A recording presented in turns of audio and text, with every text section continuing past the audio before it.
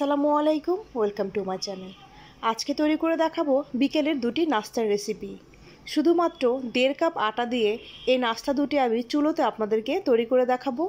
নাস্তা দুটো বানানো যেমন সহজ, খেতেও কিন্তু আলহামদুলিল্লাহ অনেক মজার। বিশেষ করে বাচ্চাদের কাছে অনেক পছন্দ হবে এই নাস্তা দুটি। চলুন আজকের এই মূল রেসিপিটি দেখে নিই।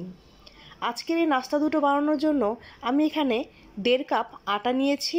আপনারা চাইলে এখানে ময়দাও ব্যবহার করতে পারবেন।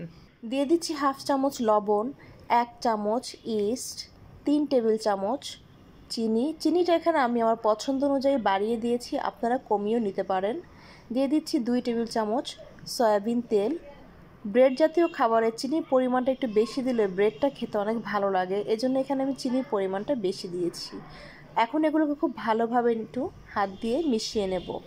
মেশানো হয়ে গেলে এখন এর মধ্যে আমি হাফ কাপের চাইতে একটু বেশি বা টু থার্ড কাপ কুসুম গরম দুধ দিয়ে দিচ্ছি। আপনারা চাইলে এখানে গরম পানিও ব্যবহার করতে পারবেন। দুধটা কিন্তু অবশ্যই কুসুম গরম থাকতে হবে। খুব বেশি গরম দুধ কিন্তু এখানে ব্যবহার করা যাবে না। এতে করে কিন্তু আপনার ইস্টটা অ্যাক্টিভ হবে না। এখন এটাকে খুব ভালোভাবে হাত দিয়ে মথে নিয়ে প্রায় পাঁচ থেকে দশ মিনিটের মতো মথে নিয়ে একটা পারফেক্ট ব্রেড ডো তৈরি করে নেব।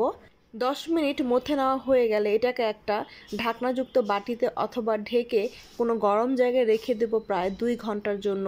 ইস্টটা অ্যাক্টিভ হওয়ার জন্য। ফিরে আসছি দুই ঘণ্টা পর। ফিরে আসলাম দুই ঘণ্টা পর।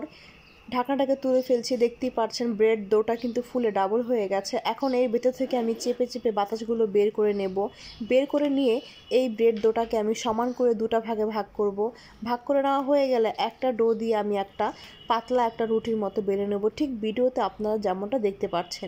আজকে প্রথমে আমি আপনাদেরকে তৈরি করে দেখাবো তেলে ভাজা তিলের ব্রেড। এজন্য যে রুটিটা আমি এখন পাতলা করে বেলে নিচ্ছি, এটাকে আমি একটি পিজা কাটার অথবা ছুরির সাহায্যে ত্রিকোণ করে কেটে নেব।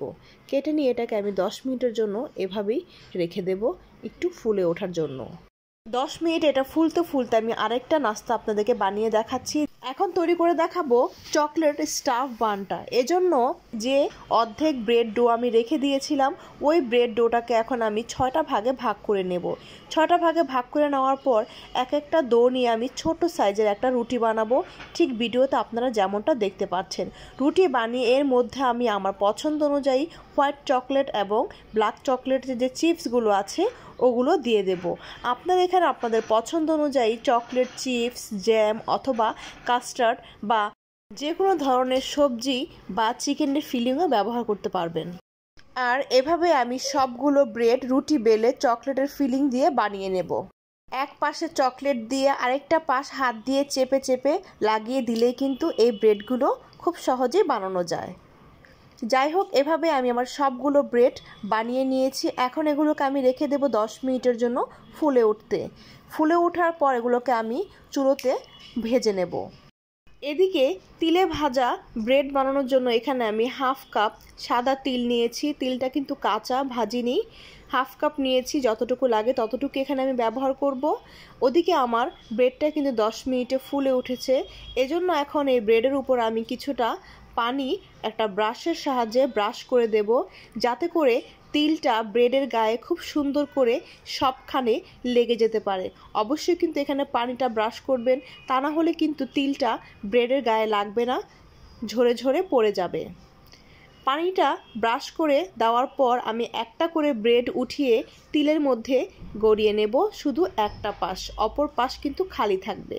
তিলের মধ্যে গড়িয়ে নিয়েই এগুলোকে আমি চুলোতে ভাজার জন্য নিয়ে যাব। এজন্য চুলায় আমি একটি প্যান বসিয়ে দিয়েছি। প্যানের মধ্যে আমি যথেষ্ট পরিমাণে তেল দিয়েছি ব্রেডগুলোকে ভাজার জন্য।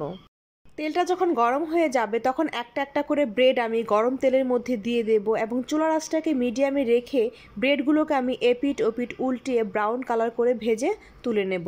সবগুলো ব্রেড কিন্তু আমি একেবারে দিয়ে দিয়েছি, একটা একটা করে এবং তেলের পরিমাণ কিন্তু আপনারা দেখতেই পারছেন, খুব বেশি কিন্তু এখানে দেইনি। এগুলো কিন্তু ব্রাউন কালার করে ভাজা হয়ে গেছে, এখন এগুলোকে আমি একটা একটা করে তুলে একটি টিস্যু পেপারে নিয়ে নিচ্ছি। এদিকে কিন্তু আমার চকলেট যে ব্রেডটা, ওটাও কিন্তু ফুলে ডাবল হয়ে গেছে। এজন্য এগুলোকে আমি ভাজার জন্য একটি প্যান নিয়েছি। প্যানের মধ্যে আমি কিছুটা তেল ব্রাশ করে দিচ্ছি। তেলটা ব্রাশ করে দিয়ে ব্রেডগুলো একটা একটা করে আমি প্যানের মধ্যে দিয়ে দেব। দিয়ে চূড়ায় বসিয়ে দেব। চুলার আঁচটাকে মিডিয়ামে রেখে ঢাকনা দিয়ে ঢেকে এটাকে আমি এপিট ওপিট তিন থেকে চার মিনিট করে ভেজে নেব। এপিট ওপিট উল্টিয়ে ব্রাউন কালার করে ভেজে তুলে নিলেই কিন্তু আজকের এই চকলেটের স্টাফ বানটা কিন্তু তৈরি। এখন এই দুটি নাস্তায় আমি সার্ভিং ডিশে সার্ভ করে দেবো। তৈরি হয়ে গেছে দুটি দারুণ মজার বিকেলের নাস্তা। দেখলেন তো কতটা সহজে নাস্তা দুটি বানানো। ট্রাস্ট মি একবার বানিয়ে খেয়ে দেখবেন, বাচ্চারা এবং বড়রা কিন্তু অনেক পছন্দ করবে। আশা করছি আমার আজকের রেসিপিটি আপনাদের কাছে ভালো লেগেছে। যদি ভালো লেগে থাকে, তাহলে কিন্তু আমার এই ভিডিওটি আপনাদের বন্ধু বান্ধবদের কাছে খুব বেশি বেশি করে শেয়ার করবেন আর একটা লাইক আর অবশ্যই কমেন্টস করবেন। আর প্লিজ আমার চ্যানেলটি সাবস্ক্রাইব করবেন। সবাই ভালো থাকবেন। আল্লাহ হাফিজ।